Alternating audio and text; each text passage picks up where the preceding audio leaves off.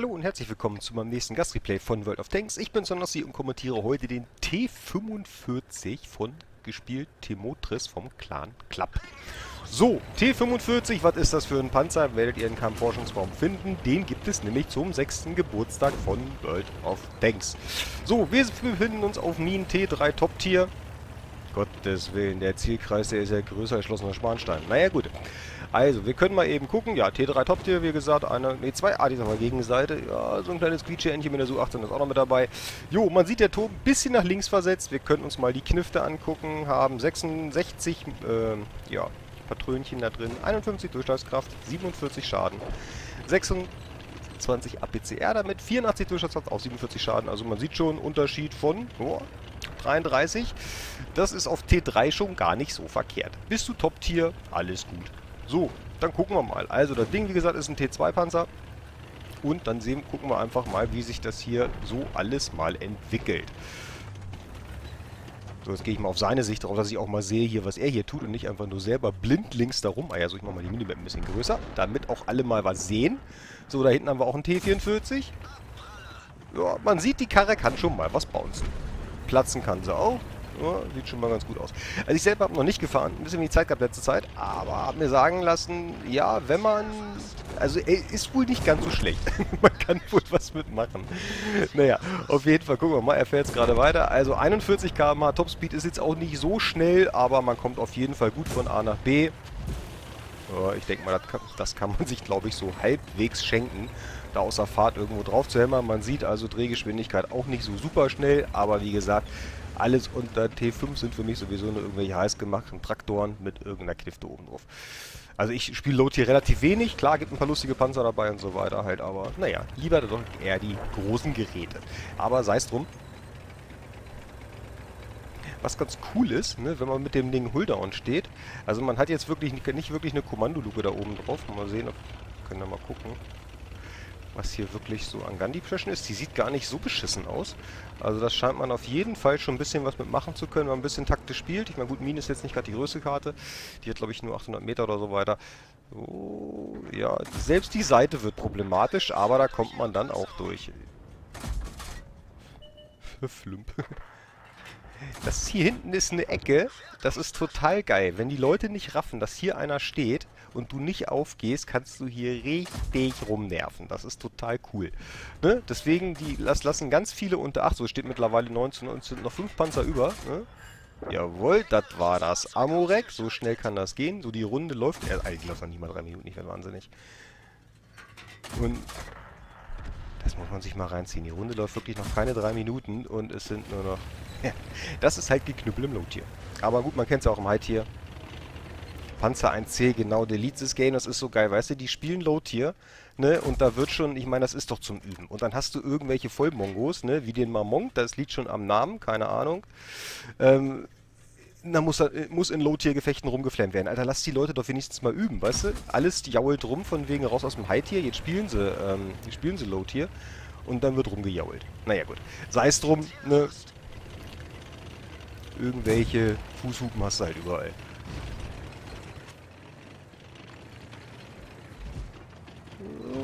Oh, nicht die Kette verloren. Wahnsinn. Ich glaube, ich hätte mich überschlagen und wäre explodiert, aber das sah schneidig aus. War cool.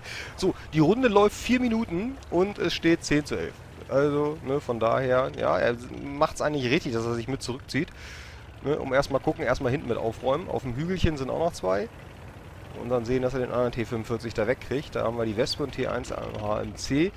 Eieiei, das wird aber auch entgegen beide Artis da hinten. Ich meine, Arti auf Low-Tier finde ich immer noch ziemlich cool. Also ich fand die Franzen-Arti damals, den T3er, fand ich total geil. Genau, dann passiert nämlich sowas. Zack, erstmal gewatchottet. Ne? Also 140 HP hat er übrigens, also kann für T3 äh, oder im T2-Gefecht äh, sowieso eigentlich einigermaßen was einstecken. Ja, jetzt sollten sie sich aber wirklich bewegen, dass sie sich da, dass sie da abhauen. So, Panzer 2G, Panzer 1C haben wir da. Was mir sehr gut gefällt, also er ist äh, sehr gut mit dabei äh, mit der Kommunikation. Ne? Also nicht nur, also sagt halt erstmal an, erstmal gut gemacht halt und sagt auch an, komm, äh, bewegt euch ein bisschen und ich spot die Mitte auf. Ne? Ich meine gut, die Mitte ist jetzt gerade gespottet halt durch den anderen Panzer 1C. Warum die den da gerade nicht kaputt schießen, verstehe ich irgendwie auch nicht. Aber drauf rummeln. Auf der anderen Seite haben wir allerdings auch noch... Eieieiei. Ne, gucken wir mal.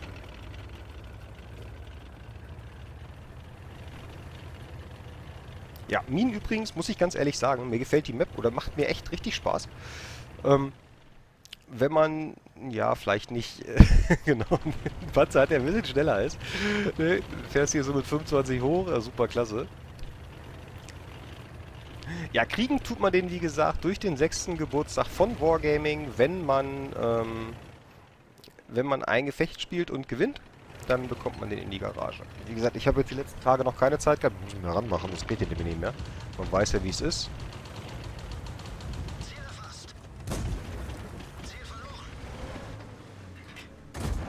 Der checkt das gar nicht. Ich hau mich weg.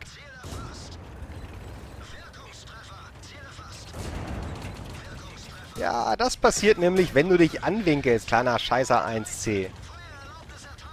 Zack, und so, dann haben wir den Panzer 1C, der ist gerade nicht gekriegt. Jetzt muss er nur aufpassen, dass er selber keine von den Artis kriegt. Das ist nämlich gar nicht so abwegig. Aber man sieht also, gegen Panzer 1C kann er auf jeden Fall schon bouncen. Also das ist schon mal gar nicht so schlecht. Ja, Ne, diese, diese 1C-Dinger, das ist nämlich immer die Sache, die rotzen nämlich einfach drauf. Ein der hat einen Fehler gemacht, der 1C. Der hätte ranfahren müssen, hätte ihm einfach in die Flanke fahren müssen, ihm dann das Magazin in die Seite drücken. Also habe ich das immer gemacht halt. Ne? Also einfach irgendwo rein in die Seite. Er muss halt jetzt wirklich nur aufpassen, dass er selber von der Arti keine kriegt. Das kann nämlich mal ganz schnell passieren. So, jetzt haben wir ein TD hinten schon bei unseren Artis. Ach, der hat sich festgefahren da hinterm Haus, wa? Oder was, was macht der denn da? Ach, der ist ins Haus gefahren und kommt da nicht mehr... Warte, ich muss mal eben die Kamera lösen. Der ist da reingefahren und kommt da nicht mehr raus, wa? Ja. Wie geil ist das denn? Das habe ich ja auch schon lange nicht mehr gehabt, dass mal einer wirklich in die Häuser gefahren ist und nicht mehr rauskommt. Ich frage mich, wie der da reingerutscht ist. Na gut, gucken wir wieder auf seine... auf seine Sicht drauf. Bisschen viel Auto-Aim, muss ich sagen, aber egal. Ganzer One-Shot ist er nicht, aber dann gucken wir mal weiter. Also, unsere polnischen Freunde drehen auch gerade wieder durch, oder was auch immer das heißt. Ich meine, vielleicht hat sich auch gerade einen Kaffee bestellt, keine Ahnung. Ich spreche leider kein Polnisch. Falls das überhaupt Polnisch war, ich wäre hier keinem zu nahe treten. Nicht, dass ich jetzt irgendwie dann irgendeinen Tschechen verärgert habe, weil das seine Sprache war, aber ich kann die leider echt nicht auseinanderhalten. Und irgendwie backt, glaube ich, gerade echt der, ähm, der Chat irgendwie rum, weil irgendwie alles gerade doppelt gezeigt wird, keine Ahnung. Also ich habe momentan noch kein Mod anlaufen. Das ist eine reine Vanilla-Installation gerade. Zack. Also er spielt wirklich sehr viel mit Auto-Aim. Ähm, Würde ich mir wünschen, ein bisschen mehr äh, in den Zoom mit reinzugehen. Ich meine, es funktioniert, ne? Ganz klar. Kommt natürlich auch hin. Macht so noch ein bisschen spannender, gerade fürs Zuschauen. So, mittlerweile haben wir drüben... Was ist denn das überhaupt für ein Ding da? Eine Lorraine 39L AM, also ein Franzose. So, einmal zum Mitnehmen, komplett bitte.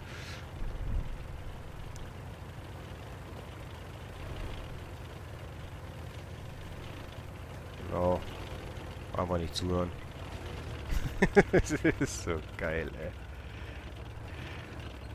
Meine Herren, der Chat dreht wieder frei. Naja. So, jetzt geht's auf jeden Fall erstmal weiter Richtung anderen Cap. Das kann auch alles echt dauern, ey, meine Herren. 25 die Schüssel jetzt gerade bergauf. Na, ich sag mal, so ein kleiner Turbolader wird da gar nicht, wird da schon reinpassen. Nur ein bisschen Lachgas oder so weiter halt, dann dreht die Karre mal ein bisschen frei. Alter, ist hier ein Friedhof. Ich mach mal die Kamera eben los. Gottes Willen, ey. Jo, das nenne ich wirklich Schrottburger mit Blaulicht hier. Meine Herren. Ja, ich denke mal, der, also das mit dem Chat, das ist glaube ich wirklich ein Fehler vom, vom Replay, dass der das irgendwie doppelt nimmt, keine Ahnung. Aber... Vielleicht schreiben die es ja auch alle doppelt. nee, finde ich nicht so. Er fährt einmal spotten. Hier oben ist eine sehr schöne Spotposition nebenbei. Da kann man gut drauf fahren, weil hier schön die Büsche sind. Da kann man ordentlich rein. Kann man gut reinfahren. Eigentlich müsste er jetzt noch ein bisschen weiter nach vorne fahren, um den da hinten aufzukriegen. Aber es kann schon sein, dass der vielleicht auch hinterm Haus steht, wer weiß. Ansonsten würde ich jetzt einfach Captain fahren. Ich meine, der kommt, der kommt schon, wenn er was will.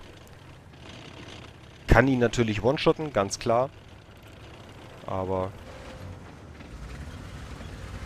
Das ist echt der Hammer, der kommt da wirklich nicht mehr raus, ey.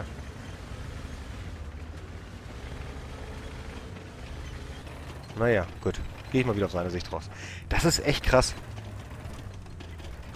Ich meine, du kannst ja selber auch nichts machen. Man hat ja auch gesehen, der konnte ja selber auch nicht schießen, gar nichts.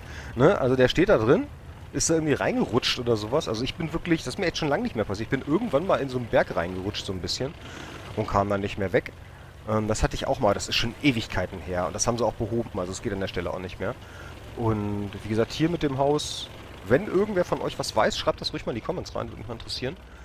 Ähm, ne, ob das, ob der Bug bekannt ist oder ob es jetzt wirklich einfach nur total unglücklich war, dass er irgendwie, keine Ahnung, da irgendwie reingerutscht ist. Wie auch immer.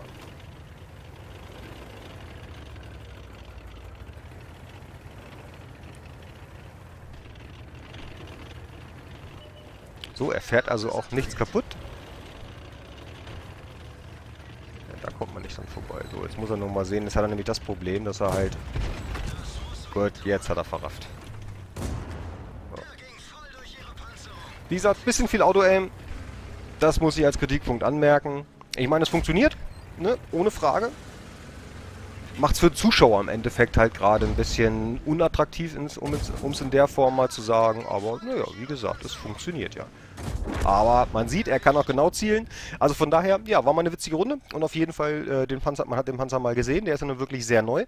Ich ziehe mal die Ausbildung eben rein und dann können wir mal gucken. Also, ne, T45, wie gesagt, das Ding gemeistert. Ne, ein bisschen kleines Gebrusel und so weiter und noch den Cool-Headed. Survive at least 10 Ricochets, also das war durch den Panzer 1C halt, ne, wenn die da drauf hämmern.